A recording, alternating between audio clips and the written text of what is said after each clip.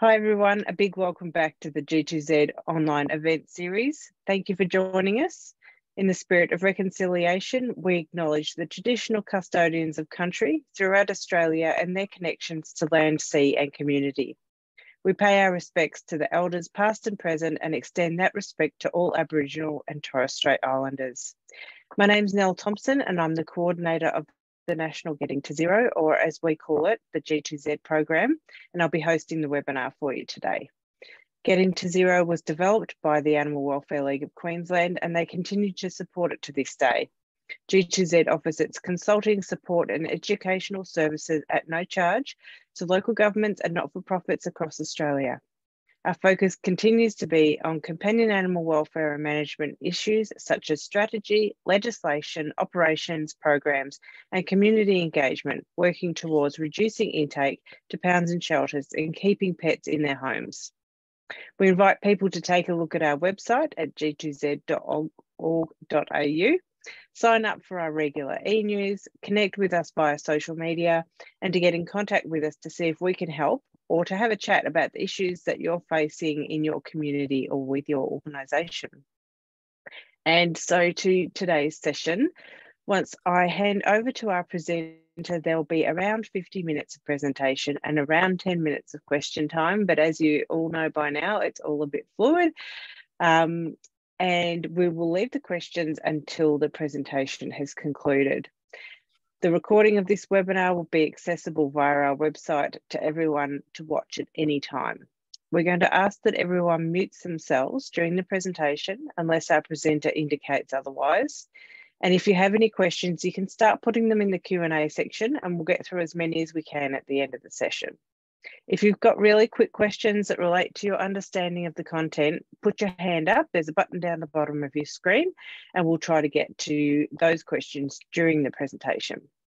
As always, please excuse any working from home background noises that may filter through. I just had um, WrestleMania 3 here in my office. Um, there's a hailstorm outside, so my dogs are inside with me in the office. So my apologies in advance for dinosaur noises. It's my great honour to reintroduce Aimee Sadler to you all today for the last in this set of three presentations. Aimee is the founder and CEO of Dogs Playing for Life, or DPFL, and with 35 years of experience working with multiple species in varying venues, Aimee's become an internationally recognised trainer and speaker, specialising in shelter programs that enhance quality of life and reduce canine euthanasia in animal shelters. The cornerstone of DPFL's programming is the Every Dog Every Day, an out of kennel enrichment model that is in, in increasing demand and has been introduced to over 300 shelters across the US and Canada. I encourage all of you to jump onto DPFL's social media. Um, the Facebook page every day has some fantastic video of dogs in shelters getting out, playing, learning to be dogs, and then you know updates on them being adopted out into new homes. So, if you need a smile, get onto the page every day. DPFL's measured programming is contributing to safer shelter environments by reducing dog to human bites while increasing canine life, life saving at an average rate of 4% at participating shelters. Starting in 2017, dogs most at risk of behavioural euthanasia got a second chance at DPFL's Canine Centre in Florida, an advanced training and behaviour care centre with an overall save rate of 86%. Aimee's the proud recipient of the Henry Bergh Leadership Award and the Maddie's Hero Award and has been inducted into the Members Hall of Fame for the IACP. Aimee's warned me that this is a really difficult presentation to get through in just one hour. So rather than skip over important info, I'm just going to let you know that if you need to go on the hour, then feel free. We understand your time pressures, but we are going to get into it right now. So over to you, Aimee.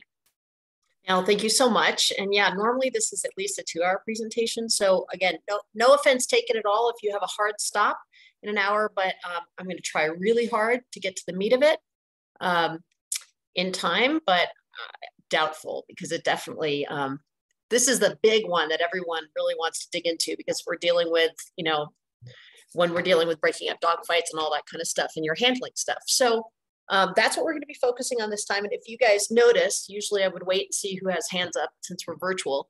I love this picture because it really embodies what I love about the playgroup handling that we prescribe, which is, you know, let the dogs have a good time together and really just there as hall monitors if they need us to be, if they cannot manage all the communication themselves. So I love that the handlers are standing there with their hands in their pockets and smiling and just watching the dogs playing, which is great. There's a problem though, is that the gal in the blue sweatshirt, she has a slip lead around her neck with it dangling down. And I just want to let you guys know that's a huge safety hazard. So um, usually when I've got a room full of people, I ask them to point out what's wrong with this picture. So that could be very dangerous. The dog just happened to grab that and start playing tug.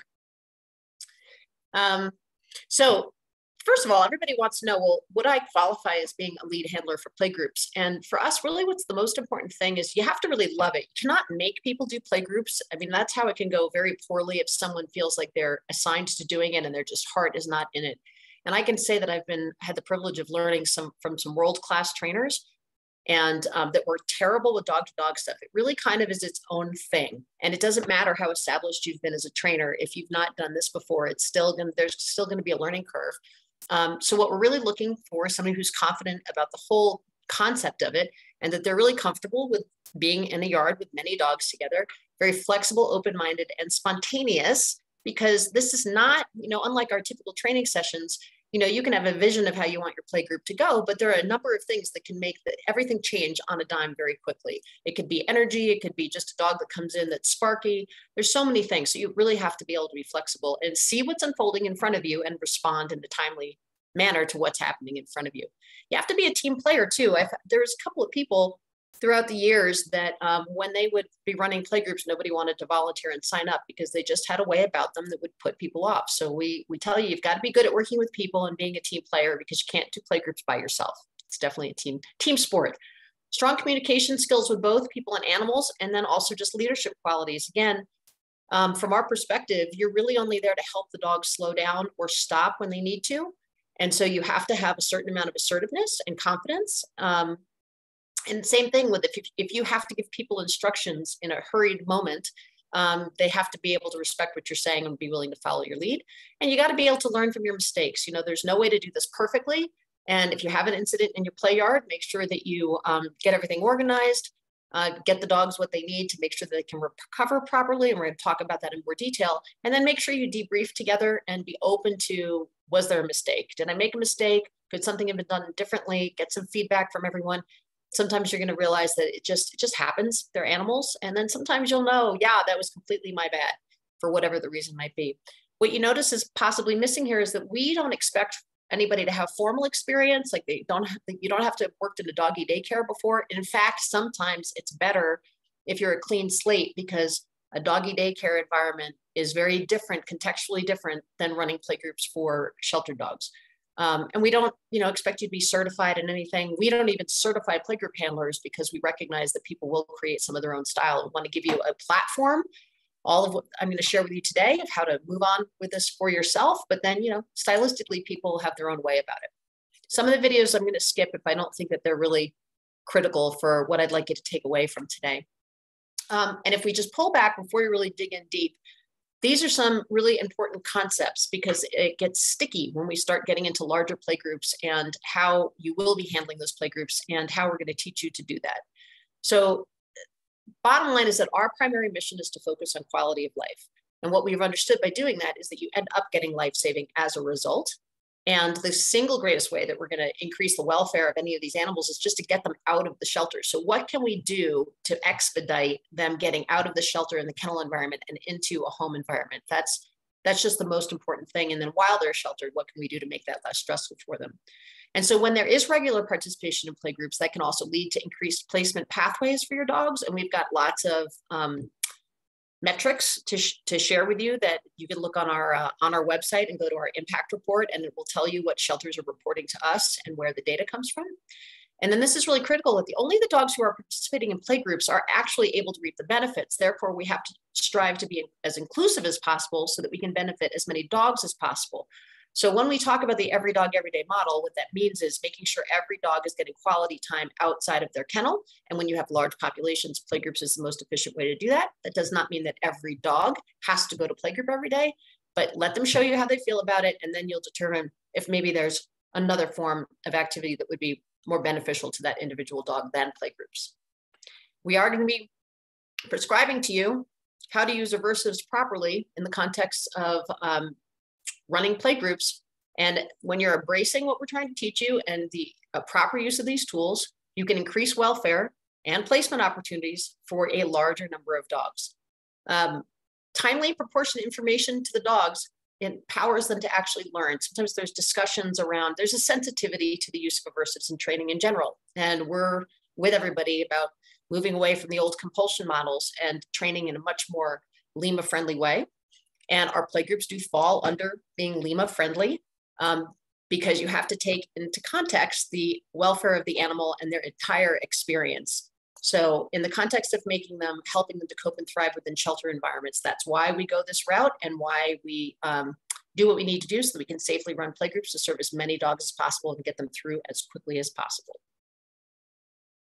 So this is for some of you that are um, training and behavior people and you know your four uh, quadrants of learning theory. Um, I This is kind of like a layman's term slide that's basically getting to um, how we're gonna prescribe that you do use aversives in the context of playgroups. So for example, in this, um, in this pictorial here, you've got the big bar at the bottom, pressure and release, which is kind of holding everything up and balancing everything. And that's because it is the most primary skill that we want you to get really good at when you're running playgroups is to apply pressure and release pressure to be able to reinforce the behavior that you want, increase behaviors that you want, and decrease behaviors that you don't want. So the application of pressure technically does qualify as a version of a correction, right? Oh, and by the way, I've got a couple of things stacked under the reward side and a couple of things stacked under the correction side, but you know, that list could be a lot longer. These are just some common examples. So the application of pressure, whatever kind of pressure that is, whether it's the pressure of a squirt bottle or a shake can or body language or your tone of voice, anything, that is the beginning of an application of correction. The release of pressure is a very poignant way to tell the dogs, yes, that is correct, and that's what I want from you, okay? It's really critical, and you're gonna see us teaching this like crazy throughout this whole presentation. Now, here's something that I want you to consider. Um, when we're teaching you something about the use of squirt bottles and shake cans, which we qualify as aversives in playgroups, what I want you to consider is that it really depends upon what the dog thinks about it. So for example, in this video here of the dog being squirted, do you do y'all feel like that dog? I mean, that dog actually loves the squirt bottle, thinks it's big fun. I'm sure plenty of you have dogs at home that will play with a hose and you can blast them in the face and they love it. They think it's the best game.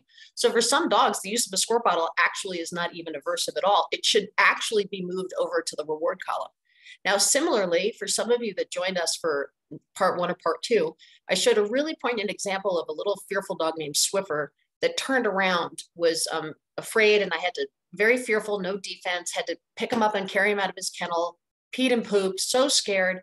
But after an hour and a half in his first play group, he was like a different dog and he just had a very quick transformation.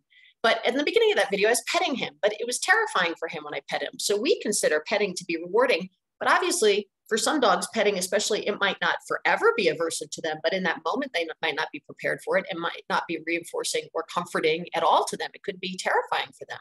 So, really, the crux of this is that the dog is the one that is always going to decide what's reinforcing and correct or corrective.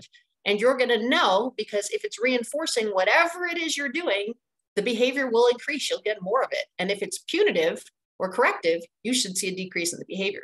So that's basically where we're coming from. So in here's a little example of the use of a shake can. Now, do we want more or less of this behavior? Okay, so if we decide that we want less of this behavior, of this little dog, oh, I've got to turn that on, sorry. Um, Just rattle the can. Yeah, I told her how to work it. And he hops down. So the whole point is that we wanted less climbing of the fence. Now, we could also tackle that by if he's at the fence at the bottom and he's pacing back and forth and he's not climbing, we could be marking and rewarding that. But remember context. If he's in a play group with a number of dogs, we're not prescribing that you bring it out treats and are doing your training there because that could actually cause a conflict with some dogs, right? So if this is really a playgroup activity, that would not be the time and place to be marking rewarding for approximations of not climbing the fence. But from a training perspective, that would be very viable. So in that example, that was a, the use of a shake can as an aversive to say we want less of that behavior. Now this is another example with a shake can, which just cracks me up.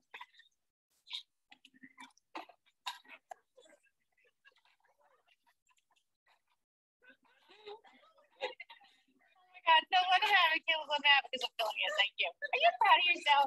Oh my God. Oh my God.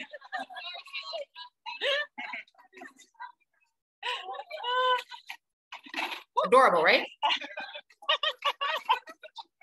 so the truth of the matter of for that little dog, that shake can was not aversive to him. But if I picked up the shake can and rattled it toward him, as we had just done with the other dog, I'm sure it would affect him differently. But it's just adorable that he picked up the shake can and ran around with it. So proud of himself. So training cars and canoes, what do they have to do with one, one another? This is one of my very good friends and one of my first mentors, Walid Mailuth, and he is uh, was a ring sport competitor. And I met him at a Bart Bellon seminar way so long ago. Um, at any rate, I was not particularly interested in those sports, but I was always interested in seeing very advanced training because as I was building training and behavior programs for shelter dogs, I just didn't want dogs falling through the cracks. So I wanted to learn as much as I possibly could and bring in techniques and tricks of the trade from all different kinds of training, even if it wasn't something I was interested in. So Walid had the best analogy that I've ever heard that working dogs like driving a car, you need gas, brakes, and steering, but the amount of each depends upon car mo model, road conditions, et cetera, et cetera. And playgroups, I think, are definitely just like learning how to drive a car. I mean, many of us drive cars, but we're all, some of us are much better drivers than others. And the only way you get to be a good driver of a car is to practice. You can't keep watching videos or reading books about it. You just got to get out there and drive the car. And everybody starts out by hitting the brakes too hard or oversteering. And you have to get a feel for it as you go. And we say it's exact same thing about running playgroups. So gas is like the dog's enthusiasm or drive, for whatever they're doing. The brakes to me is their impulse control or their stimulus control, two different things to be honest with you. But being able to um, think even when they're really, really wound up and responsiveness, even when they're distracted, like steering is like a different level. I'm gonna get into this in more detail. So here's a really good example and, and back to my, my quote at the bottom about training with all four quadrants, right? Or embracing this concept of being able to use pressure and release work. It's like steering a canoe and being able to have the paddle on both sides.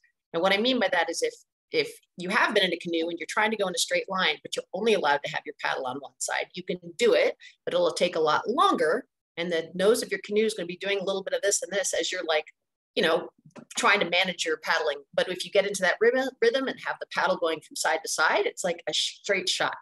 Um, so that's kind of our analogy with that. Here's an example of um, we were at a shelter and they were uh, focusing on positive reinforcement and relationship-based training, which is all great stuff. We love all of it. We just don't stop there. And so this is a dog that had been really struggling. And I'm sure many of you have seen dogs like this in your shelters. And he had very limited handlers because he was difficult to handle. And so we went to observe what they were doing, and then we immediately stepped in and said, okay, wait a minute. So um, here's an example of all four quadrants.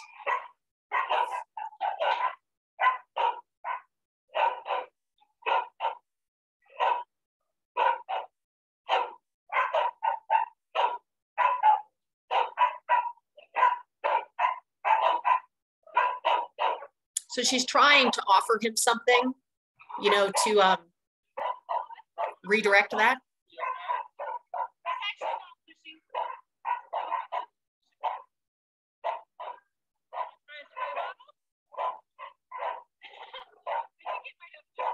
The other thing is try not moving your arm Every time you move your arm, it makes it again. There you go. Good.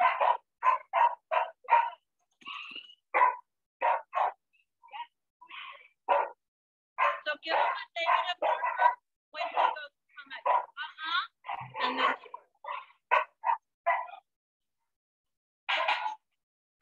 you guys carry tools on you? Um, the tree, the uh, trainer, the uh, caregivers usually do. Okay. So now.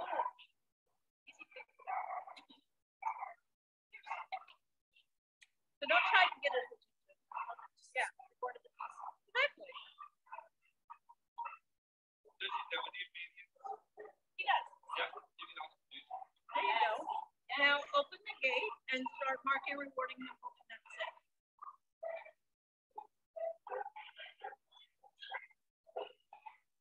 That's it. gate open this way too?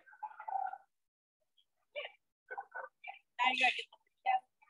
So do that again, but this time take the leash off. So you have your spray bottle now, which is an effective tool for him. So he should always have a spray bottle.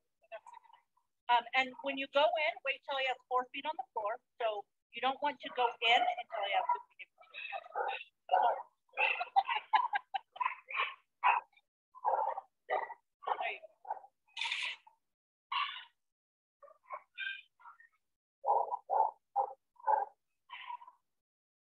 So the thing for that about that video is that the question is, is it inhumane to use a squirt bottle? And they were afraid that it really was. So they weren't providing him with that information. They were trying to tell him, you can do this, you can do this, and redirect him to things that they wanted him to do or options. But to him, that wasn't reinforcing to him. It was frustrating to him. So all that was happening is this was three months that they've been at it with him like this.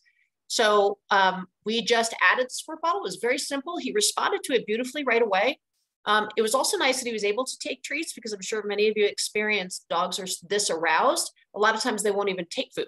They don't want food. They just want to get out. So it was really nice. It was, we had the way to say, yes, we want more of this and no, we want less of that. And it was very clean and it was quick and it was very easy for him to put together. So what we, our question is, is it inhumane not to use the squirt bottle? And we believe yes. Okay. And then here's just a quick video of, let you listen to it for a second, and then I'll tell you what it's about. This is DPFL's first annual team skill building week. Okay, so this is a Longmont Humane Society. They had their play groups had been shut down for a little bit because they had a um, some something. And I think URI had they'd had a big URI breakout or something like that. So most of these dogs had not been able to go to play groups yet. But what I want you to notice with the handlers is that there are no active corrections on the dogs, but there is a lot of gentle pressure, pressure and release work with their leash to say, I want less of that, or you need to make an adjustment. And when the dog is correct, the leash goes soft. Lots of clicking, you heard that. And most of these dogs are behavior dogs, and at least two thirds of the dogs here are being handled by people that they've never been handled before. By with they've never been handled by the person before because these were our team members that that uh, that came in and to for our skill building week. And many of the dogs had not been in a group class or in this setting either. So the only reason I'm showing you this, and I had a little bit of this in our other ones, is that getting to dogs being able to respond and kind of train up nicely and quickly is by incorporating pressure and release work as well. In addition to satiating them with playgroups and so on and so forth, and lots of treats can get you a pretty nice picture pretty quickly. And you'll see a lot of the people are handling very similarly because they're all DPFL people. Um, so steering. So when we talk about steering, that means that you want to momentarily interrupt them. You want to, you're not really, that's not, it's more that the behavior is inappropriate than it's actually concerning. So you, they're kind of being a nuisance. So let's give you a couple of examples here.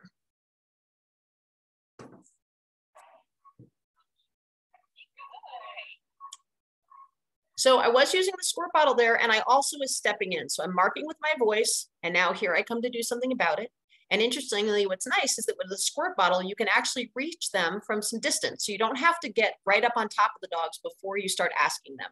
So we really, when we're there, we're doing seminars with people, we, uh, we talk about say it, then spray it. You see it as our last bullet point here. That means always proceed with your voice because we're looking to establish verbal control from a distance. And then the tools and then the use of our body language on top of that will back up what we're asking for. And eventually you can just ask the dogs for things and they're gonna do it. You don't need to use the squirt bottle anymore.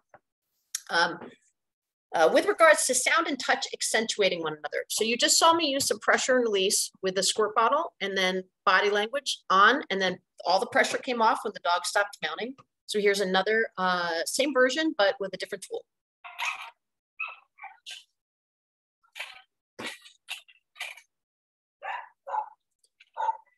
And as you can see there, you know, I was rattling the can gently, trying to kind of be directional with it, making sure that I'm paying attention to where I'm standing and like, which way do I actually want him to go? Right. So if I just come behind him and shake that can, I'm just driving him right on top of for more. So I wanted to get to his front and turn him from his head. And he was kind of like, yeah, yeah, yeah, I'm busy. It didn't mean enough to him. So I turned up the volume a little bit. He told me what you're doing is not effective for me because it's not, it's not decreasing my behavior. So he's telling me how much he needs from me. And so then I ended up making contact with it. So once I had that same rattle but made contact, I didn't have to necessarily escalate that just the two of them accentuated one another. He's like, okay, now I can hear you. And remember, it's only important for us to go in and do any of this if um, if the dogs are not responding to one another. But if they can have all this communication amongst themselves, that's golden. That's what we're actually looking for. When we want to apply brakes, that means that we need the behavior to stop.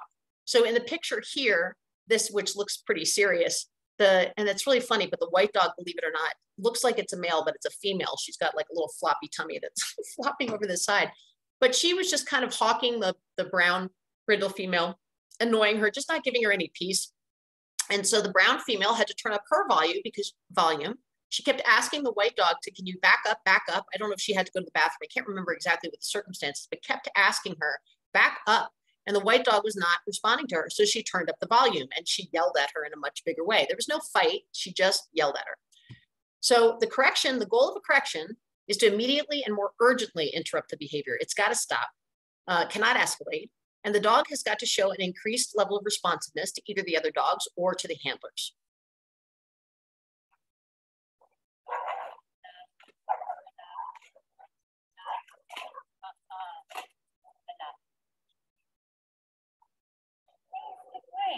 I think food is a little overwhelmed by that. What do you guys think? Yeah. Again, for the sake of time, she just discusses a little more that that one dog was playing well, but looks like he's now getting tired. But I was just wanted you to see her style and her technique with it, with what she was asking for. So she did want them to stop. They were starting to get into an argument. But again, if you notice, she didn't panic. She was like, ah! she wasn't, she was just really definitive, very, you know, calm, cool, and collected about saying, okay, enough, you guys go to something else. So in this video, I'm gonna pause this for a second. I want you guys to remember this. Uh, oh no, I forgot. From the first part one, if you were in it, you saw this black and white dog. There was a, a, video of me talking about why we don't micromanage the dog. And you saw her playing with other dogs beautifully. Well, this was her very first social session and she came from the ASPCA. And um, the brindle girl here, Randy, is our helper dog. I can't remember, Nikki. Nikki was the black and white one. And she is muzzled in this one. And um, I'll just let you watch it. We'll talk about it more.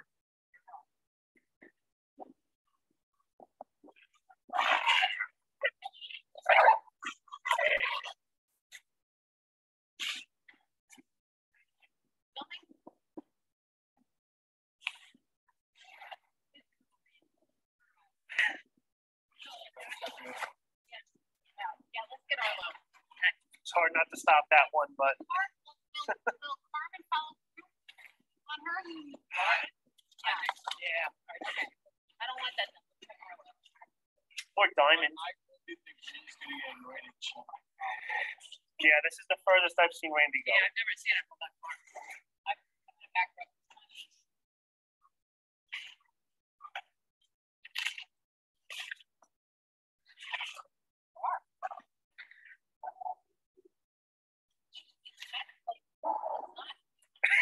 Doesn't like it. Okay, so Randy in that video, by the way, we let Randy off the hook because she clearly did not like Nikki. But I want you guys to think, I know oh, we don't have time to replay it, but in the beginning, that first correction was very exaggerated because Randy's like, I'm not comfortable with you. And then Nikki didn't know how to take that correction so well. But you, but over time, then you saw another dog mount Randy, and Randy didn't care so much. It's not about being mounted that bothered Randy, it's that she was not comfortable with Nikki. And then after that, they moved kind of off to that other side. And then Nikki was kind of starting to be spastic and trying to play bow and kind of make friends with her. But Randy's like, I don't like you. And so Randy's volume, she turned her volume down. She kind of yelled at her big in the beginning. And then when she's like, okay, well, you're weird and you're trying, but okay. And then she was not yelling at her so loudly. She turned down the volume because she could. So anyway, we let Randy off the hook and then we brought in another bouncy, trouncy male and her muzzle came off. And then she turns out to be a very social dog and ends up being one of our helper dogs. But that was her first time having access to dogs. And actually, Dr. Pamela Reid was in that video. One of those sets of feet was her, were hers. And she brought the dogs down for us to evaluate. Um, this was from oh, I can't remember the name of the, the um, hurricane, but at any rate, there were a couple of dogs that they'd had long-term in their temporary housing and nobody had claimed the dogs, but they were afraid that a few of them were not placement candidates. So they brought them to us and then we worked with them in our program. And so Nikki did end up being placed and she did great. But she came to us because she was um, extremely unleash reactive with redirection um, on the handlers, uh, very frustrated. And, and she turned out to be very playful. So I'm sure she just wanted access to dogs. And we see that happen over and over again. So what does deference mean? When we want more responsiveness from the dogs, we want deference. And it's very clear to see it. Ears will go back and you will get eye contact. They'll do it for each other and then they'll do it for you. So if you're trying to ask a dog to slow down or stop, the pressure should stay on until you get ears back and eye contact. And by the way, distracting the dogs from doing something, if they're going to make a mistake and you are seeing that, it's not that it's not prudent sometimes to go in and basically just um, interrupt and move them away so that they don't follow through and make a mistake. Certainly, there are times that that's prudent, but don't believe that you've necessarily taught them anything. They haven't learned anything. Whereas when we let Nikki go through that interaction with um, Randy, and Randy gives her information about her behavior, then you saw Nikki start to adjust her behavior. So she's actually learning by receiving those corrections rather than just avoiding her, avoiding altogether and taking her out of the situation. I can't remember what video this is. Let's see. Oh, this is a good one. If you have to interrupt, Now, before you guys watch this one, this is at a seminar at Austin Animal Center. And these volunteers, it was their first time. They'd been through all the trainings in the classroom, like you guys have been watching. And then we went out and demonstrated and worked the whole population of dogs first so everybody can see us demonstrate what we're talking about. So we get through startup where the dogs are usually a little bit more difficult because they're pretty wound up and oftentimes when we get to shelters. And so then once we've been through the population and we've learned about the dogs, then we start bringing handlers in to start practicing themselves. So they're a little herky jerky. They haven't driven this car for very long. Um, and there's a couple of things that that we'll point out at the end when you watch this. and make sure you go to those monster shake cans. Uh-uh. Shake can. Monster. Yeah. There you go.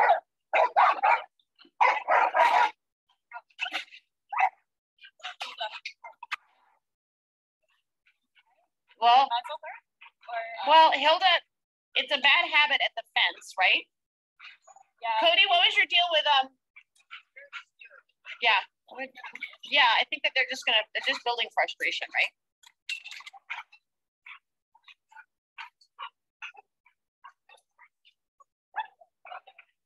It's normal. You'll see that a lot. That's why we'll give them information about the barrier activity, settle them down, let them in.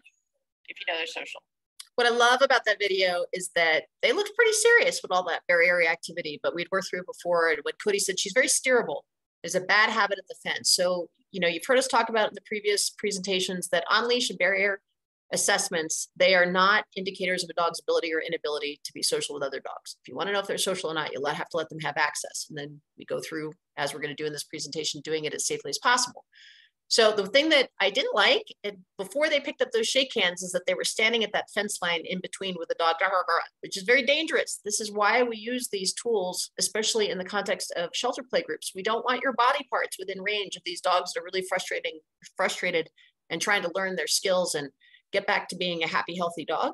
So uh, we want you to be able to use these tools so that you can start to influence them from a distance and not have yourself in the middle of stuff like that. And the Monster Shake Can is fantastic. The, those milk jugs, because they're soft and pliable, you can hold them. Your hand is actually shielded. So if you went to use it and a dog redirected, probably just going to bite the, the Monster Shake Can. You can use it to protect yourself even if you needed to. So uh, you can lob it in the air and just, if they're really going out of the fence line, just lob it in there and let it drop down between them and it'll startle them into a stopping. So uh, I love them.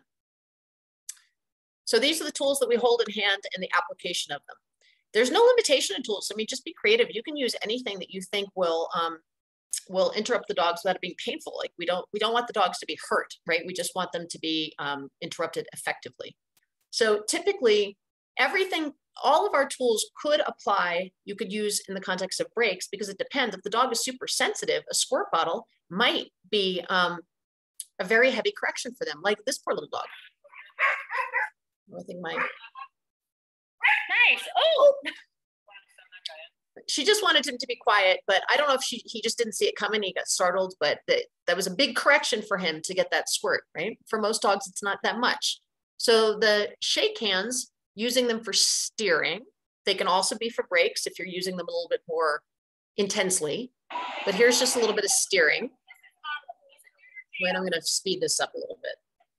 Get to where we actually use it. Okay.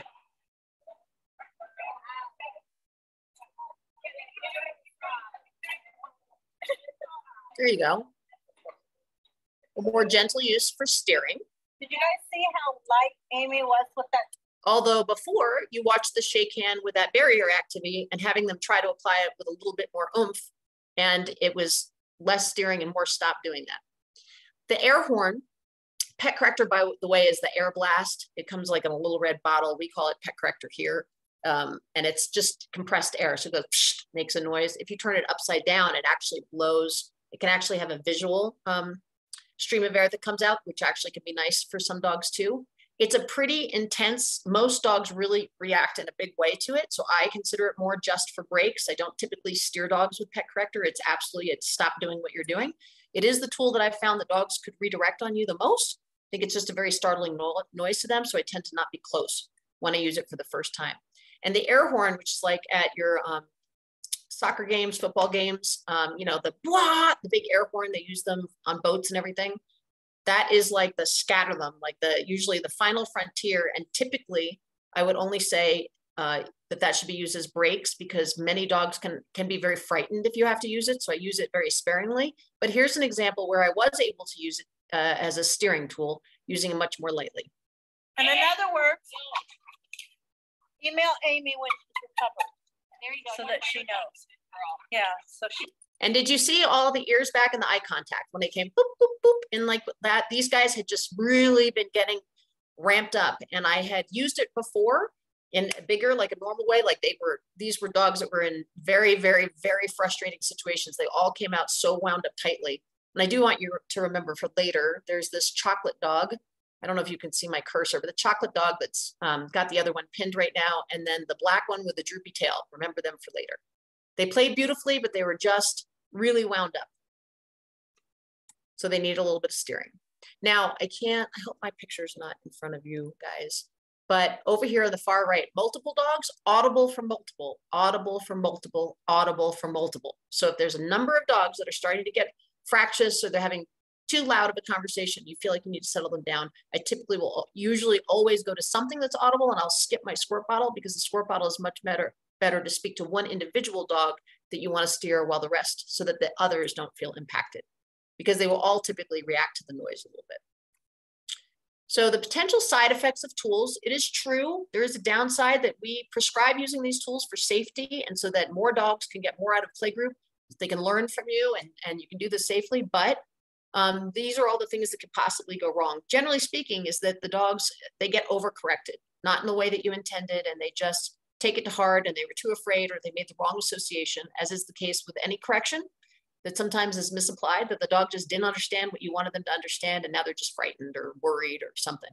And so if we see that happening in our play yards, just like it'll happen to you in your regular life with your dogs, maybe you step on their foot by accident or anyway, you hurt their feelings by accident, you try to help them recover, let them know that's not what I meant.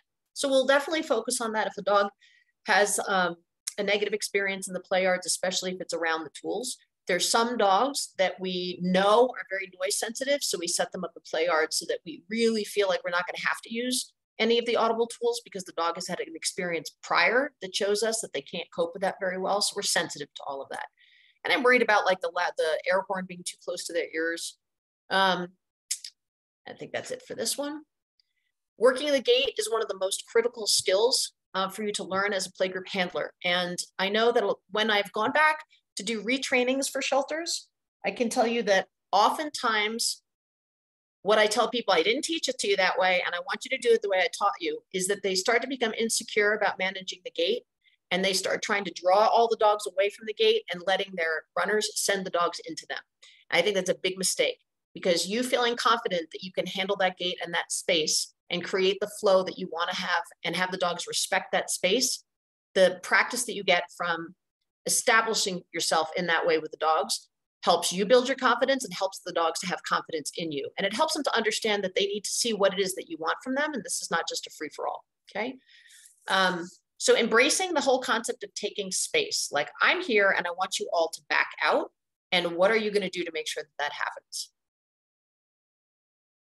Now, I love the way the handler watch how the handler manages with the tools in her hand. Hold on, I'm gonna say something before this gets going. Sometimes this happens. She's got tools in her hand. She's got a gate to open. She has a dog on the outside on leash that's a little bit about tentative about coming in. And then she's got dogs that are eager to greet. So she's trying to manage all those things at one time. And she does a great job positioning herself and then using her legs to block block access for the dogs that she doesn't want to come through at that space and then creating the space and showing an opening to the dog that she does want to come in. One at a time? Put her in. Yeah. Okay, go ahead. Come here. You're up to bat, sir. Uh, good job. Take that left foot, left foot, right, left foot, left foot. Nice. Nice. Now, I think she did a really good job at that. But the one thing that's missing is she could have, and in that this was an old video, and we do actively ask the dogs with a squirt bottle and with our tools to really clear that space for us more now. At that time, I was more comfortable with people being close, but again, why have your body parts in the way if you don't need to? Sometimes it's going to come up. Sometimes dogs are going to try to blow past you, but sometimes we're asking for more space at the gate now. You want to balance between taking a moment to observe the dogs when you're making a decision about whether or not they can come in, but recognize that you might be building frustration, like in this video. Well, his tail is really good. Um, she doesn't look worried about it at all. She's watching him like, let him in." Um, So this is dog that he built frustration, right? Like, You can see that the other dogs are not worried about him. So he's just excited.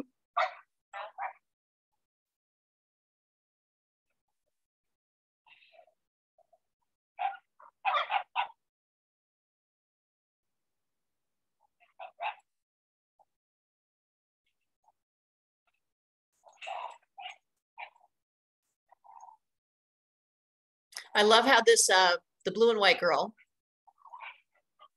she tells him, you got to mind your manners when you come in here. You got to do your front door and your back door greeting, and then you can play. so she does a great job with that. So I was observing him. I used the squirt bottle. I asked him, enough. I want you to be quiet. Don't be yelling and screaming. Use your inside voice before you come into play. Uh, and then found a good opening. I was worried that I was going to build his frustration. So there was that opening and then let him in. And which way are you going to open the gate? Are you going to open it out or bring it in towards you? My uh, son Cody has a great analogy. It's like consider the play the play yards and the dogs like water, right? And they're going to go. The more water, if you've got more dogs in one yard, that's more water. So if where is, depending upon how you open your gate, which way are you asking the dogs to flow, basically? In this one, I don't have a catch pen. So if the dogs in with me get past me, they're running around in the fairgrounds there's a couple of roads around. So if you notice, I, I opened the gate in towards me because in that situation, again, this was older, older days when we didn't ask the dogs to leave the space so much. Now I actually really back them off a lot more. If I had opened the gate out, it would have invited all the dogs that were in the yard with me to push past and to go that way, right? So it was important that I knew to open the gate in. And the goal is always to reinforce the correct energy before they come in. And if a dog, you've already seen that in that last video, if a dog is really very reactive, that is not, I'm not going to make a final determination about that dog. Um, I'm just maybe going to make sure that I'm set up properly for them to come in if I don't know anything about them yet. So to strengthen your own technique, verbal control, that's really, really, really what we're going for. Less is more. I don't want you out there jabbering with the dogs all the time. You don't need to be telling the dogs what a great job they're doing they actually get all that feedback from one another. I really, again, want you to think of yourself as just the hall monitor. You're there more for steering and brakes. They get positively reinforced by from each other and through the activity.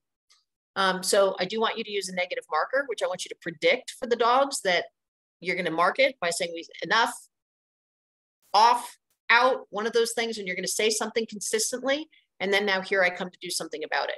So eventually one day, if you say enough, and you squirt enough, squirt enough, squirt. One day you're going to say enough, and the dog will stop what they're doing, and you don't need to squirt. Boom, you've established a cue, right? We, if you saw, like even with Lexi in that video when she was in the snow with the dogs, even though they really started to get into a little bit of an argument, she didn't. She wasn't loud. She was kind of low and calm, cool, and assertive with her voice, and not frantic and panicky sounding. And you always want to back up your voice with your tools and then with your body language. So say it, then spray it, then move in people have a very bad habit when they first start running play groups is they get right up on top of the dogs. They come rushing in and hover over them before they say anything.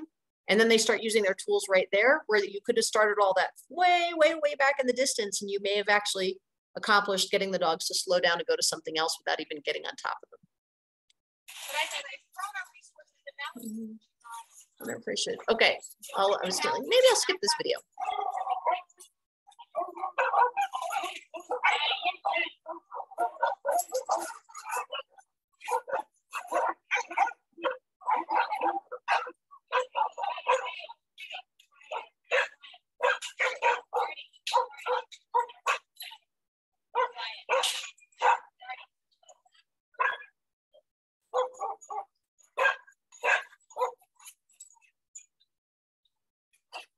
the reason I felt that it was important, I'm sure that you all get this. I don't know why the kids came. That was kids camp. They came to hang out by that tree. They weren't really there to observe play playgroups. So that's why I was like, ay, yay, yay. And then if you notice, I didn't start yelling and screaming like, oh my God, get the kids out of here. Because then I would just be jumping in with the dogs on the alert, right? It's okay that the dog's alerted, but I definitely want them to be like, okay, thank you. I heard you. Now I want you to go to something else, steer you to something else. And also the kids weren't doing anything. So I don't want the dogs rehearsing, being barrier active to neutral kids, right? It's training opportunity.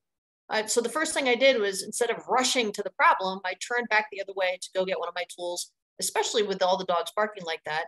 Um, it helped me to be able to get through to them, like, so I didn't have to yell and scream, right? Um, the positioning, don't hover. We talk about um, a lot of times people first start playgroups, they start like really following the dogs around and they're nervous that they're not going to get there fast enough. And, and when you get confident, you can get a little bit more distance and think about being a pool lifeguard, right? You're not swimming around in the pool with everybody trying to tell them to remember, be safe. You just sit back, you know, you sit up and you observe and you know when the time is that you've got to get in there to help. Calm and cool demeanor conveys to the dogs that you're capable of leading them. Confidence is subtle and insecurity is exaggerated. So when people are insecure in the beginning, they get panicky with their voice, they rush in too much, they hover, um, they just don't sit back and observe, and then they don't come in definitively when they need to. And it's just like driving a car again. Remember, the only way you get better at driving a car is by doing it. So over time, when you become confident, you'll be a lot more subtle in your handling, but it's okay that in the beginning you're going to be herky jerky and exaggerated. So you read right to the dogs when your voice, your body language, and your use of tools are all aligned.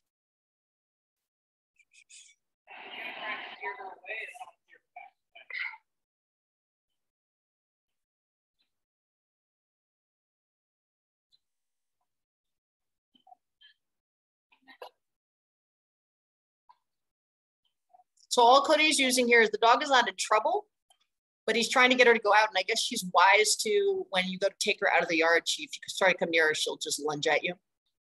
I think it was something like that. I can't can't even really remember. So he's just demonstrating corralling her and using body pressure because he wants her to go to the other yard. So it's pressure on, good. A little pressure off. Not a girl. Nice. She just had that like neener neener catch me if you can. If wherever you wanted her to go she wouldn't let you go. And i can't remember why did i film that? Oh i called i wasn't there. I called cody and said Pam Reid wants a video of blah blah blah. So that's what he came up with. So she had a, a demo video. Right, let me see what this one is. As soon as he's handled that's going to pique her interest. She's very she's very attracted by movement. She, she wants to play. I'm hoping this other dog will play with her nice and rowdy There you go. So he's asking her, I want you out of the space right now.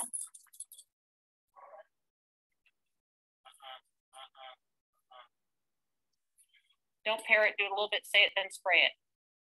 Okay. That boy. What a good boy. So he's obviously was feeling a little vulnerable. That's why he put himself under the table, right? So what I like about that video, you're like, why would we watch that video? Well, what I like about that video is that Cody was able, the little dog that went under the table, if Cody had used the wrong body language and just tried to reach under the table to grab that little dog, he would have invited the other dog to probably harass the little dog more. So he had to ask that dog to, hey, I don't want you a part of this. I'm going to deal with this and I want you out. He then turned his side and bent down. So he was simultaneously conveying to the little dog that, hey, I want you to come into my space. Um, and he accomplished that while at the same time, he was using the correct body language and use of tool and his voice to send the other dog away. So he was communicating to both dogs at the same time the exact opposite thing by the use of his voice, the use of his tools, and then his body language. what was that other one? Did I miss one? We don't have time anyway. So, okay, setting yourselves up for success. As far as collars, we prefer, um, you know, a lot of the shelters, we love it when shelters have um, martingale collars for dogs, but it's very dangerous to have the slip over the head martingales for dogs in play groups. It is safer to have a regular flat collar specifically for play groups, and you have to make sure it's fitted correctly, the, the nice two finger fit, uh, so that they're absolutely wearing them as a collar, not wearing it like a necklace, okay? And you have to have be able to unclip the collar for safety, just in case dogs are even playing and grab a collar and alligator roll, and you can have a dog that's choking. So it's important that you get a collar off quickly.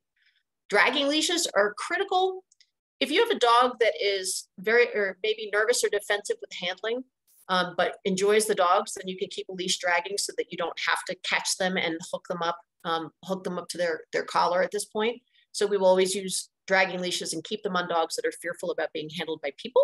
And oftentimes they get over that with time. Um, if I'm in a situation, for me, anytime I know nothing about a dog, I'm absolutely going to have them dragging a leash until I feel comfortable and know something about them.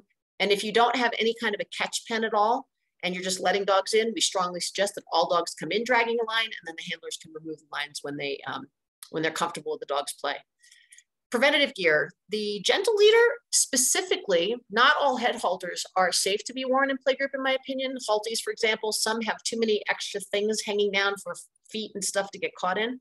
Gentle leaders, though, because they can have a slight suppression effect on some dogs, can sometimes be a really good tool for a dog like a push and pull dog that's being obnoxious and poking at everyone. It's been really useful for us to sometimes just pop a gentle leader, or there's a, another tool called a Kurgo that works great that just seems to organize them a little bit and they, they come in more smoothly to play groups. Muzzles, we do not want you to be shy about using a muzzle. Listen, you can always take it off. What's the worst thing that happens if you're not sure about a dog and you're not liking what it looks like and you feel they, they might go to their mouth inappropriately and you get that feeling and then you let them in? The worst thing can happen is you were right and they end up grabbing the dog, right? what's the worst thing that happens if you put a muzzle on a dog and they come in and you realize pretty quickly that, oh, they're really playful. They were just very barrier reactive. You just pop the muzzle off. The worst thing that happens with a muzzle being on a dog is that sometimes they just, they go nuts with it. We do not, for the context of playgroup acclimation, we do not for playgroup use. So we're just trying to quickly get you in and make sure that you can't hurt anybody. So we don't go through a full acclimation period for the dogs. We just get it on them. We do advise that if you have a more advanced training and behavior program and you think you're going to do more long-term muzzle work to try to use like behavior modification with playgroups, then we suggest that you properly um, acclimate the dogs to the muzzles. But for these quick introductions, like, can I just get you in here and see if we can get you better? Um, some of them will just fuss with it so much that they sometimes they'll catch their dew claw and tear their dew claw. That's the worst thing that happens. Um, uh, or your muzzle dog gets jumped that's if you if you just didn't read it right and one of your helper dogs ends up victimizing a muzzled dog that's a drag but that's all these things can happen but not as much as you would think now what is their motivation for aggression though if i do believe a dog is going to be defensive and that's why they're going to go to their mouth i would really really rather not muzzle them if i can help it and just maybe just have one helper dog at a time to just try to help them feel comfortable because taking away their primary defense is going to make the behavior uh, escalate right? So here's a great example. We actually got a good example of it.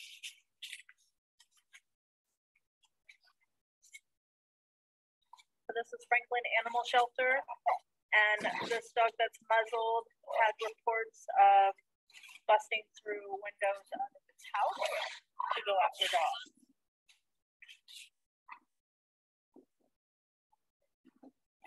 So if you heard, she didn't do anything, that would make us feel like we should muzzle her, but she had a history. Concerned with her though, huh?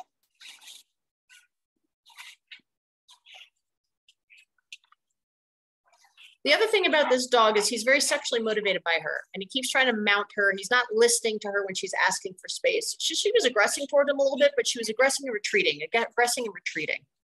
Um, so she just wanted him to stop, you know? She shows us exactly how she feels about the muzzle. He's on it kicks it away. Um, now watch how she engages him now that she's not muzzled.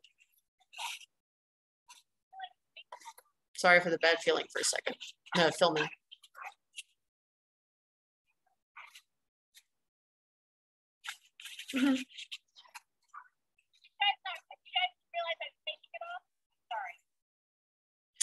So it was clear to me pretty quickly that oh, she's just really defensive. And I know she had that history, but I felt like I wanted to take it off. Um, and she did much better when the muzzle was off, obviously.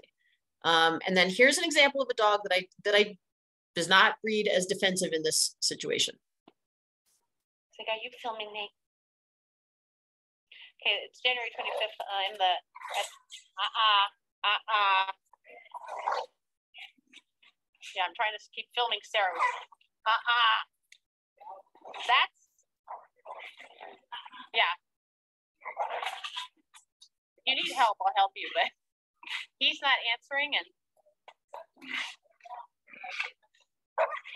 Okay. What a turkey. Ah.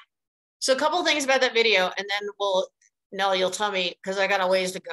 So I'm trying to hustle through this. But the thing about that video that's so important is that you could see very clearly the difference of when that dog started aggressing as compared to the one before. One before was aggressing and retreating, aggressing and retreating. This one was not stopping, even though the helper dog was amazing. He wasn't doing anything to yell back at her. He was like, "Oh my God, can you please stop?" He was just trying to be friendly. And um, you know, even if if he had turned around to defend himself and argued back with her, I wouldn't have blamed him, right? So um, he was just he was incredible. We made sure he had a really nice play session after that, so he wasn't left with her being so inappropriate with him. Um, but that is the difference between defensive and offensive. So when in doubt, muzzle up because you can always take it off. So um, for I'm those happy you, for you to continue if you have time. Oh, I'm, I I will not do a hard stop. I'm still going to try to get through this pretty quickly. I think we've got about a half hour, literally, if I'm going to do it as quickly as I can. Does anybody have some questions before we end the official first hour? Do you want me to answer any questions quickly, and then I will finish it for those that can make it through? Yeah, that's a good idea. Even if you want to pop something in the chat or pop your hand up or unmute yourself, you've got anything urgent. You're gonna have to help me because I can't multitask like that. So you'll have to yeah. tell me questions are. Don't ask me to read anything and then try to present to. No, I'm not seeing anything okay. up, Aimee. So yeah, plow on. All right. So at this point, sometimes I have people blinking at me thinking, okay, now I think I'm utterly confused because I don't know when I would actually step in because I feel like they feel like they're hearing me loudly and clearly. Like, don't micromanage them and give them a chance and let them work it out themselves. We do not at all condone letting the dogs fight it out themselves. If they're fighting, they're fighting. That's we're not going to allow that. But you always, as a handler, have our permission to test your steering. So if you've had a dog come in, especially if their energy is really high, and you're feeling like, I don't know if this dog, I want to know that I can ask this dog to slow down and they're going to respond to me, just ask them to slow down. Start asking them to move or concede space or slow down so that see what tools are effective for them. So you're like, okay, at least you're listening to me. Because I know for me, especially with really high energy dogs that I don't know, I feel so much more confident when I'm sure they, okay, they'll listen to me even though they're wound up like this. You know, if I have a dog that is blowing me off right from the beginning is just trying to get around me and doesn't want anything to do with me or if i feel like as i'm trying to ask you to slow down you're actually starting to drive harder then i definitely want to find out what is it going to take to actually get your attention and to have you concede a little bit um, because i don't want them to just go full force on one of the dogs you know i want to make sure. So you always have permission to test that. When their play is not mutual like you saw in um, the and this one when lexi was with the dogs in the snow she started to talk about how the one dog was getting a little overwhelmed. So one is having fun at the expense of the other. So when you start to see that and one dog is trying to say give me space give me space. So or like randy and nikki right it was not mutual nikki was not nikki was trying to have fun with randy randy was not having any fun and that was clear and what we talked about in that video is like okay we're going to back randy up and actually we got randy out of the situation so let's look at this one so this one goes on and on and on. And I'm like, oh, it drives me nuts. But the white dog is very sexually motivated by the little blue dog. And she, she's put herself against the building. It's hot. She's like over it. And you're like, yeah, the, whomever was filming that absolutely should have stepped in and steered that white dog off of that little dog. It's not any fun for her. Okay, when the response is disproportionate to the feedback they're getting from the other dog. So sometimes dogs sometimes dogs just can't take corrections well right they just like lose their top right so you're probably to have to get in there and not let them follow through and say hey no you've got to listen to that dog that was legit right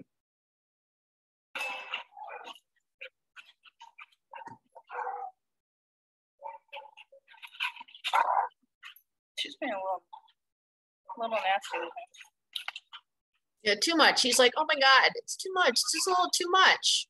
So I asked her, like, okay, stop. That's beautiful. st- Yeah. beautiful steering, right? That's great. You weren't listening so much to him. You weren't reading his cues that like, ah, it's a little too much, but really easy to steer. So that was nice. Bringing down the energy. So when they're struggling, like when you bring new dogs in that are high energy, especially when they're young, remember the video where I was worried about building the frustration in that little blue dog. And when I did finally let him in, that kind of mama dog, she was like, put her foot on him and said, hey, hey, hey, slow down and do the proper greetings. So sometimes the dogs can't do that themselves and you as the handler need to say okay everybody slow down get through the greetings and then you can you can relax and play because some dogs it will really build their frustration if an, a dog comes in and just won't hold still and is just zooming around and then obviously when an actual fight breaks out um, i would like to get in there and give them information rather than just whisk them away um, and sometimes you feel like you have to risk, whisk them away Harleen and Saturn, two big ladies, might be going through a little bit of a status discussion as Klein decides he, he really likes Harleen. But so we got our two kind of get a little bit escalating.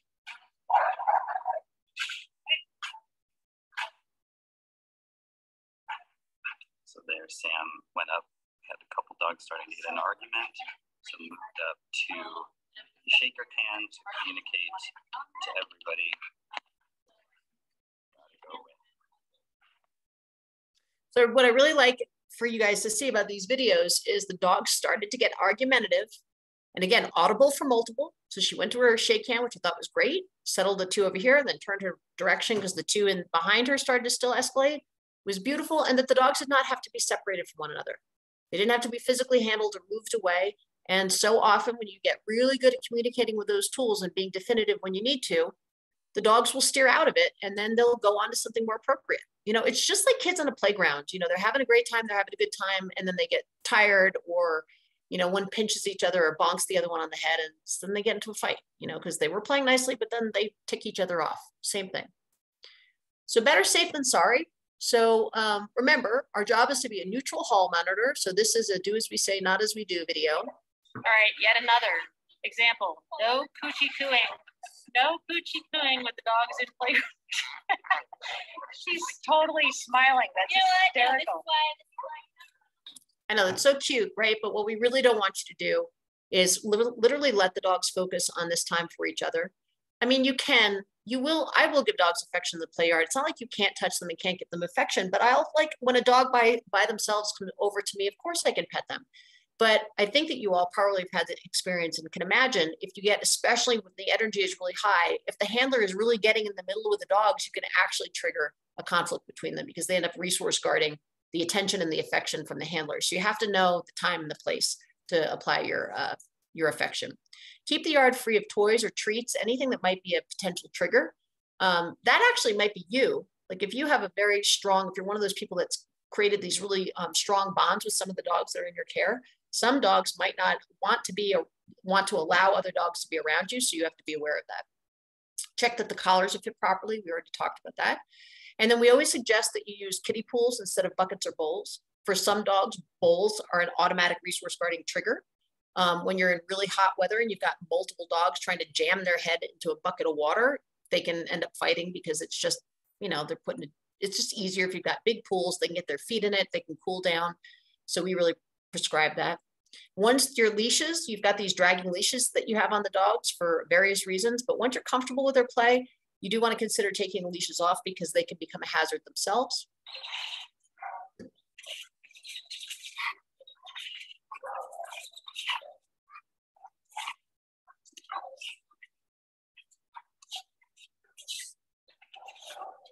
So can you see there?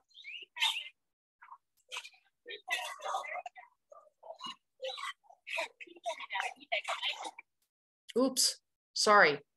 Didn't mean to do that.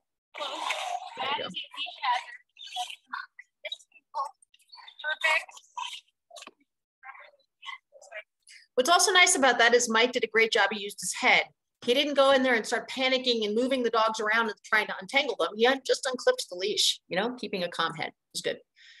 Uh, we never let the dogs play with equipment. We won't let them grab each other's collars. We won't let them drag each other around by the leash um, because that actually, they're not practicing good bite inhibition. They're actually just starting to tug on one another and that could be dangerous and um, provoke a fight. So we don't let them play with equipment. They can grab each other's body parts and drag each other around by body parts all day long because then they're working on how to use their mouth correctly and gently and to communicate with each other certain equipment, uh, whether you believe in this equipment or not, you know, some places, you know, if you have an advanced behavior program and you're an all tools and techniques kind of program, uh, then you might have some of these tools, but they're not safe in play groups. Um, the only one that we do suggest is the gentle leader, as I've already talked about, and um, muzzles when it's appropriate.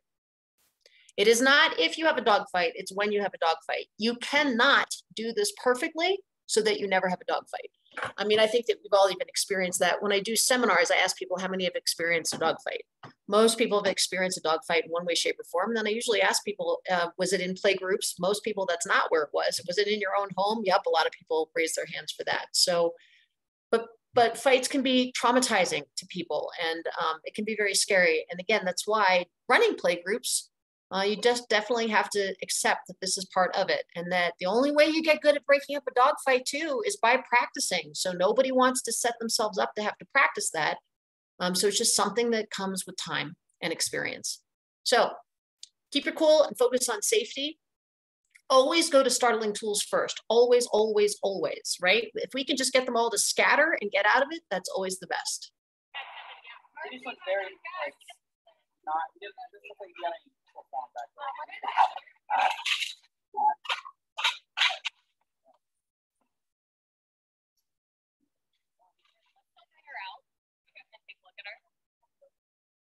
Again, when Cody went in to do that, he was very definitive and he did not lay off until the offending dog gave him deference. And then nobody had to be separated. Looked like he was thinking, oh, no, I'm really going to go for this. And then he was like, never mind, I'm not going to go for it. If your startling tools fail though, be quiet and calm. Notice again, I think Cody gave one good, like a, I have my steering negative marker, which is uh-uh. And then my brakes negative marker is fine. Typically when I'm like, that's, that's got to stop. So he did his version of a brakes marker and then got in there and just followed through with the tools in his body language. It's very, very important. If that did not stop those two dogs, there were quite a few dogs in the yard. So the next thing that people would focus on in that yard is removing the extraneous dogs because it's much better to have a fight with two dogs than with 10, right? If the leashes are attached to the dogs, this is the moment that it was for. So please do not go running up and grabbing dogs by the collars when they're in the middle of a, a heightened situation. Um, use the leashes to keep yourself safe. And if the dog is muzzled, right? Then don't feel so shy, especially if they're the one that is assaulting another dog while they're muzzled. Just go ahead and get a hold of them because you are protected in that situation. So you can minimize um, how, like, like even the dog, the muzzled white dog that was pursuing that helper dog. To me, we kept Sarah kept fumbling. I was trying to film, and she was dropping the shake can. I mean, that poor dog. That went on and on and on. I'd like to stop that a lot sooner. Once one dog is really a muzzled dog is trying to assault another one, just stop them. Right. Be prepared for re direction anytime you make physical contact with a dog that is well you know that too from if you've had an, an, injured animal that's hurt themselves been hit by a car or something's happened or their foot's gotten caught you know how dangerous it can be when you you go in to try to help them but they they are feel like they're being threatened and they can bite you and bite you badly because they're in defense. So be very prepared. If you make contact i usually do my test touch where if i go to grab a dog by the hind end i will literally touch first and see how they respond. Um, we always go for the back end instead of stay away from the pointy parts in the front. But if you go to the back end first to either wheelbarrow the dog or to try to tip them or anything, remember they can swing around with that front end. And do not, this is the hardest, most counterintuitive thing that we tell you. Do not just pull dogs apart if one has a hold of the other or they have a hold of each other, because that's where we can cause the most injuries. Like those lacerating injuries are typically because people have literally ripped dogs apart. It's not typically as much what the dogs are going to do to one another. Usually, if they've really gotten in a fight, they've got hold of each other, and you handle it the way we prescribe, you'll end up with you know punctures sometimes. And then many times not. It's amazing. Uh, what is this video? Oops. Okay, so do you remember Before, when I said to you, remember this brown dog and remember this black dog, they were playing really beautifully. But this was in a shelter where the dogs were very, very stressed and double stacked kennels, not getting out of their kennels sometimes for weeks at a time. So the energy was high. So they're playing, playing, playing, playing. And then, like kids in the playground, they got mad. So the black one has a hold of kind of the ear and the scruff of the chocolate dog. It's clear in this video if I just pulled, if we just pulled them apart, we would have caused a severe injury. So we did everything that we just told you in that last in that last slide. We immobilized. Uh, the black one is the one that is more offensive. So I have him between my legs. I'm trying to keep him still. I have his collar twisted and I'm starting to push him towards the other dog to um, feed the bite. Did it say it on that slide? Because it's supposed to talk about that. You're supposed to push the dog. This is like an upgraded uh, webinar that I haven't, this is the first time I've done it. So some of the materials kind of not in the right order for me, but you're supposed to be feeding the bite, pushing the dogs together instead of trying to pull them apart. And there was no injury to this dog and because we handled it this way. Because because you see right there, if we pulled, and then I'm going towards the chocolate dog, and then BB was just holding the other one to just make sure that she could get him out of the way. And notice how I softened the leash, took my legs away because he was still a little bit wound up. And he's like, what happened? So it, do not pull the dogs apart. Where are we? Grab the hind ends. Okay. Let me see if it says it on the next slide. Oh, here we go. Immobilize the latched on dog and feed the bite, which is what you saw just happening then. And we will twist the collar and start to take air. Sometimes you just have to be patient and it takes some time. Be mindful of defensive mouths and remove your hands if necessary to avoid injury to yourself. So here's an example. Now, this video, this one's hard to watch. It's, um, this was, it was, a lot of things went wrong in this video. So it was, actually, uh, a lot of things went wrong in this video. And it was because all the things went wrong that this poor dog did end up injured. But I do want to tell you, he did end up injured as a result of this. But they were trying to demonstrate for me what they were doing in play groups, and it, it didn't go well. Um, but he did end up coming back to play groups. He ended up with a laceration on his neck but the vets let him come back or not, it was deep puncture. He came back to play groups. He did great and he was adopted a couple days later. So it turned out okay. But um, this is a dogfight video, but it's watch more the people and everything that goes wrong.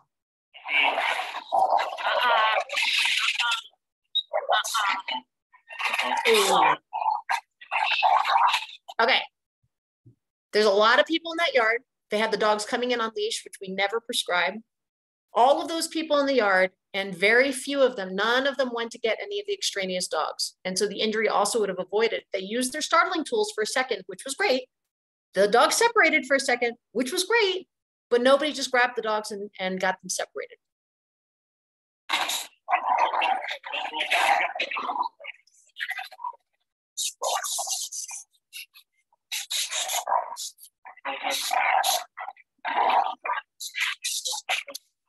Don't pull. See the chocolate one? So the person, if you could see, was literally stringing up the poor dog that was getting, and that's what caused the injury. And tip him on the side or on her side. Nice. All right. So that's what you don't want to do. That's like, also the other thing that happened with that one was that they used all the everybody's like tools tools tools tools tools remember what we said if your startling tools don't work then stop start getting those extraneous dogs out and um, focus on the offending dog and then use anything you can to get between them so to be honest with you this could have stopped so much sooner so much sooner throughout that whole thing but let's say if they were at this point where you didn't have all the extra people in and they were where me and BB were. So they had the two dogs, they had to immobilize them and they were pushing them towards each other instead of all that other stuff and twisting the collar and then be patient. That dog wouldn't have ended up with the injury that he ended up with on his neck. And if you need to, if the dogs will not let go, then that's when you use any object to get between the dogs, a clipboard, a pooper scooper. We have what are called break sticks. They're like um, you wedge them in and either depress on the tongue for a gag reflex but um, and you only pull them apart once they've let go of one another.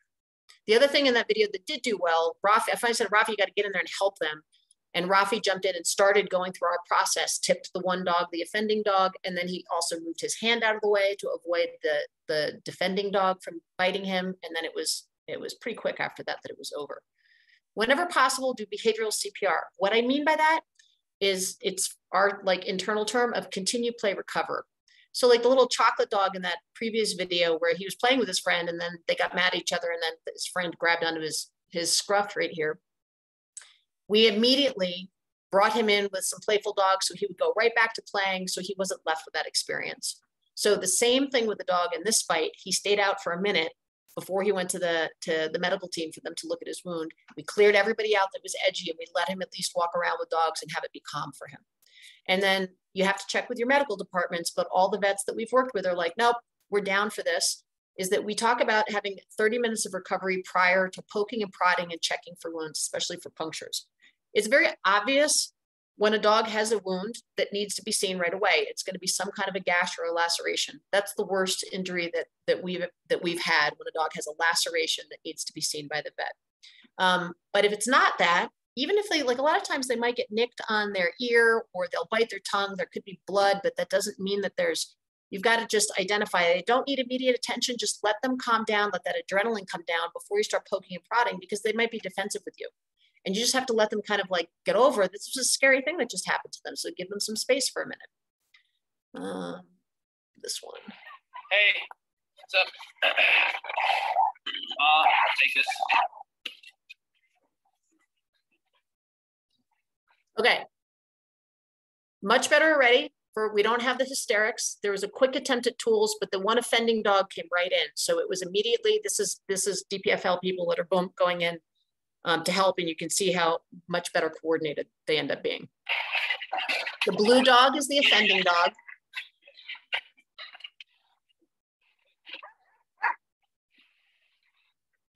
So the camera person gets the extraneous dog out.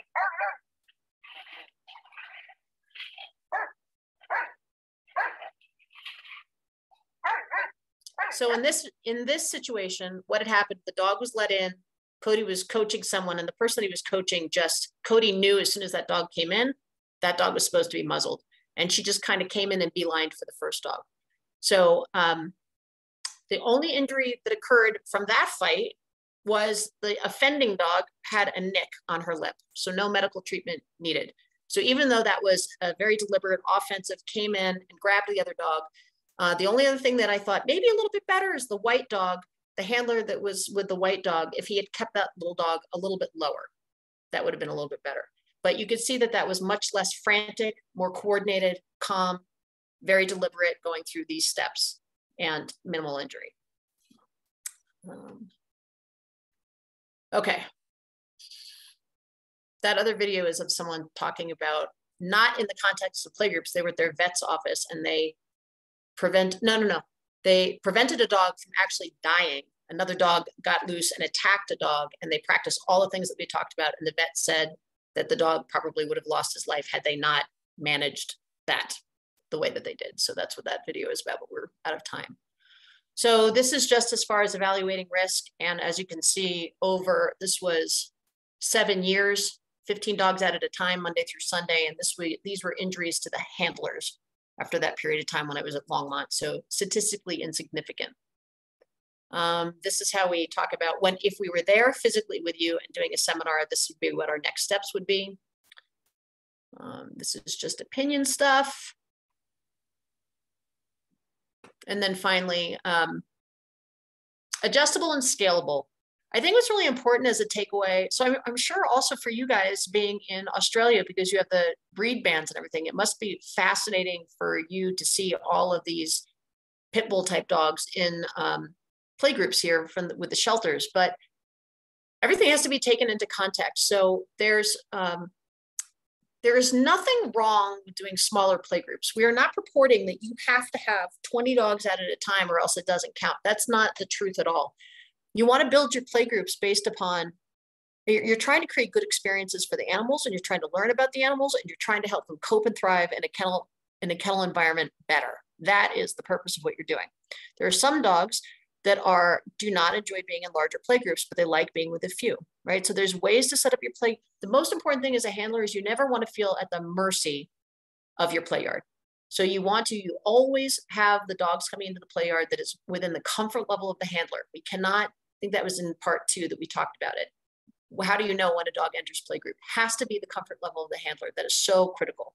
And being on the outside, being a uh, armchair quarterback is a bad thing to do because you want the people in that yard to really feel confident and feel like you've got their back. And practice will make perfect. Everybody, the dogs and the people, everybody will get better together as you um, drive this car. Um, strive for inclusion so that we don't want you making a bunch of assumptions about what dogs will or will not benefit from playgroups. Let them show you and go through our steps to give them safe opportunities to get out there and show you how they feel about being with dogs. Um, and definitely make sure that the dogs that definitely are not going to benefit from playgroups, either it's too stressful or distressing for them, or if they really just have shown you they prefer time with people, then make sure that they have that opportunity. Think macro in assessing approach and risk. So what ifs should include what happens to the dogs who are pro prohibited from playgroup. I mean, the truth of the matter is you never know until you try. And so we want to be safe and you want to you want to protect the dogs from bad experiences. Of course we do. But if you're overprotecting them and they don't get a chance, what opportunities are they missing? And what are you not learning about the dogs? And are you possibly not giving them a better experience that they could be having through playgroups? You just have to, you have to be weighing that all of that all the time. At full implementation, playgroup is a multi, oh, you guys can read it, I'll read it to you. Um, it's just the fundamental enrichment for us for the, like right now we have a contract with Los Angeles Animal Services they have 20,000 dogs a year that they're servicing. They've got six care centers. The one that we're focusing on now in South LA, they have 350 dogs on the ground at all times. And before we came in, it was a big kind of expose crisis thing. There were dogs in those kennels that weren't getting out for weeks, sometimes months. And that's just not humane. That's not what we're all here for. So for us, playgroups is like the only way those dogs are going to get out of those kennels is if they start incorporating a playgroup program, which is what we're there to do. Um, so it's our foundational enrichment, assessment, training, and behavior modification all rolled into the activity of play groups. Oh, wow, okay. And we actually have served over 330 shelters. Um, and we've got great stats. So it's kind of like the thing to do. Let me see if this is like a fun video. This will be a like, this is our closing fun video for you. If Someone were to come to me and say, um, what's, what's pretty your brain to you and immediately start thinking all these things. But first, it's just that we're inspiration. So we're fully inspired on watching not only our, our staff, but our volunteers work with the dogs. Dogs are a lot less stressed. They get outside more frequently. Um, we're getting dogs out multiple times a day. In the kennel, they're a lot more relaxed. Um, we're doing some more in kennel enrichment as well. We're able to focus more on the dogs that are having a harder time in the kennel. I think that they are going to experience a better quality of life while being here. I think that it will make them um, be more marketable to people who are physically seeing them outside of the shelter, um, watch them fencing and see them playing.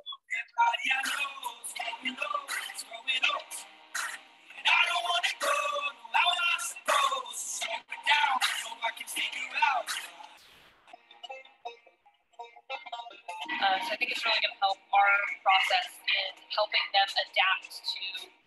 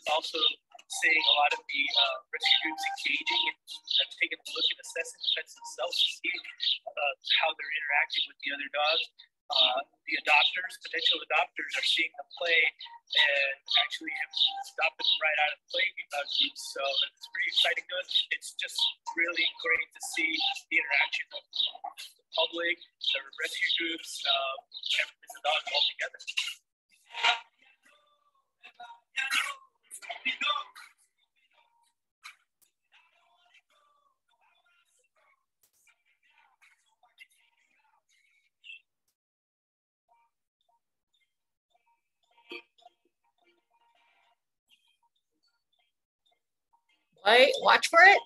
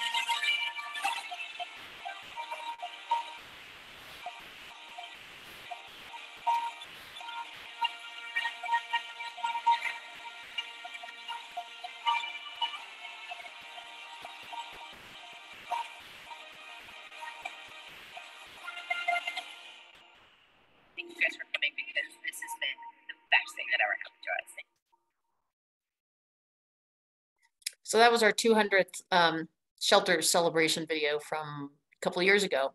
Anyway, um, for any of you who have hung out and stayed with me, if you've got questions, so sorry that that I just could not get it in an hour. Sorry, Nell.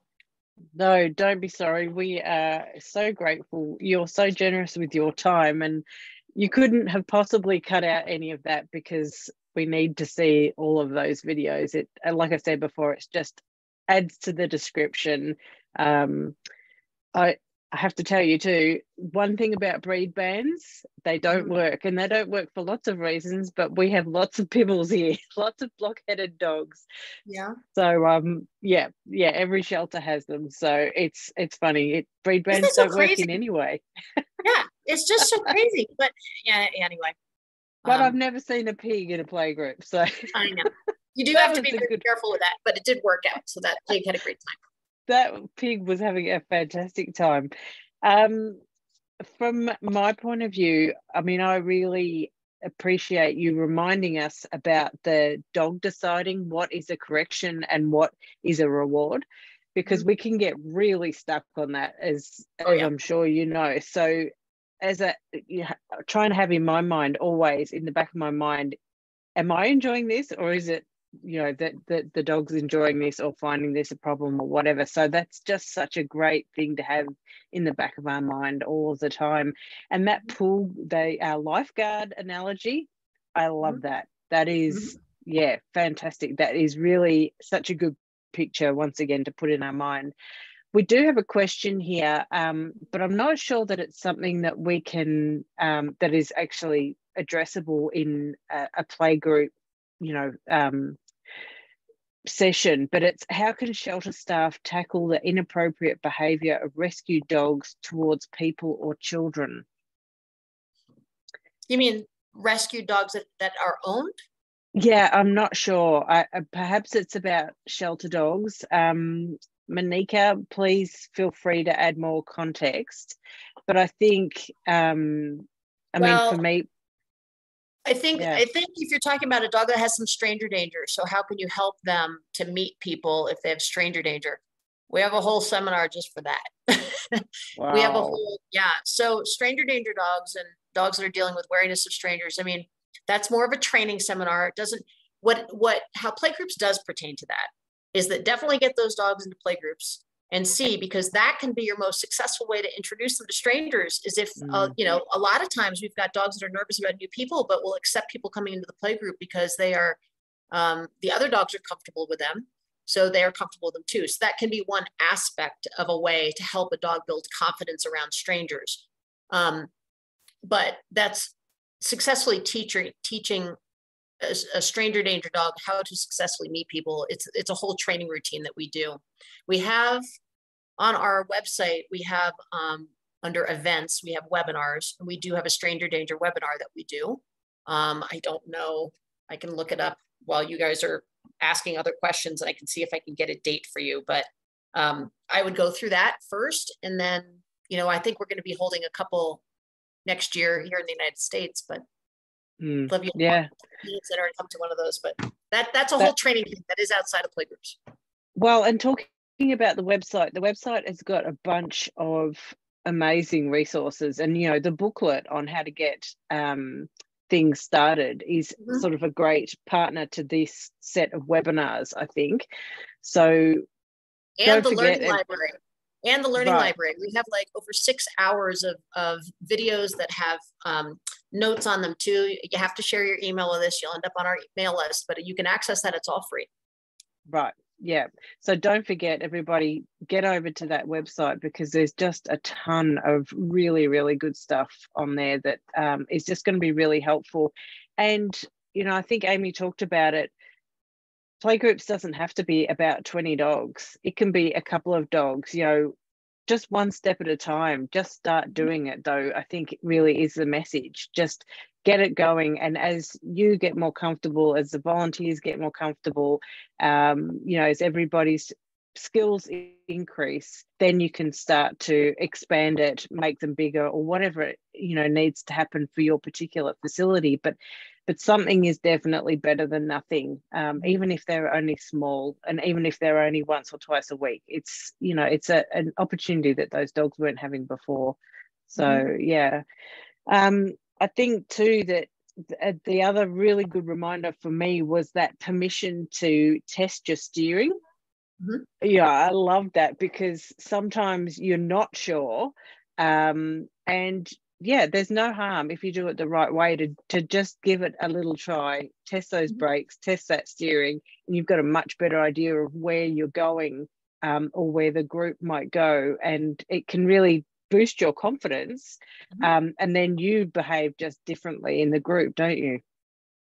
Yeah, I mean, it is really for me. And again, I don't do the playgroup seminars anymore so much. I mean, every once in a while I end up doing one, but um, and as I get older, you know, I just when I was doing it day to day, I was a lot more confident. So when I roll into Yeah. too, I definitely know that as long as I know that the dogs are steerable for me, then I'm not even so worried if they start to get into a little bit of an argument. But I can't stand that feeling of like I feel at the mercy of the yard. If I ever feel that way, something's got to change. Either Yeah. I've got to remove a dog that I'm just not cons- that I'm not sure about or whatever it is, but you just never want to be in that position. And that's really each individual handler. And like my son, my son Cody is is uh, like the master. He can run these really large play groups. And for me now, we talked about the lifesaver model, meaning a roll of lifesavers, right?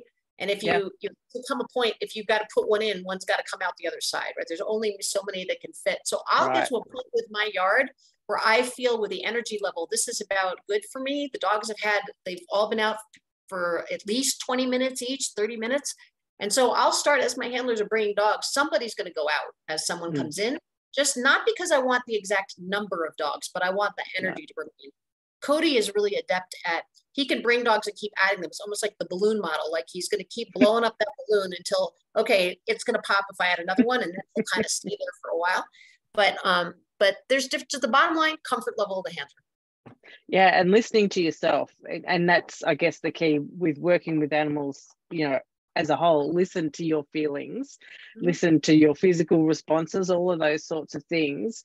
Um, don't get dramatic about it, but certainly listen to it and respond to it and, you know, make the change what need, you know, that needs to be had. Um, okay, we are really delving into your evening now. So if there are not any more questions, everybody, um, I would like to thank Aimee again for just being so incredibly generous and giving all of us Australians this opportunity and for us to be able to record these webinars, use them as staff and volunteer training exercises. You know, get a couple of pizzas and bottle of Coke at the end of the day and put on a, an hour's training session. These can be really, really good resources for the whole team. So thank you, Aimee. We really hope to stay in touch with you and really hope to see you and your team out here in Australia at some stage. I Um, hope, you know, we've been invited and uninvited, invited, uninvited. And I think, I think the big, the, it's the use of aversives. Like people, they want us to come and then they think, no, we can't invite them. So it goes back for it. So someone's going to get brave enough one day to get us up there. we will make it happen. Don't you worry.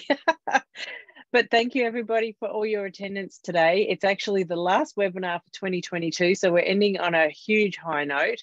Uh, we'll hope you, you will join us again next year. And um, yep, everybody take care. Thanks again, Aimee. Enjoy the rest of your evening. Thank you.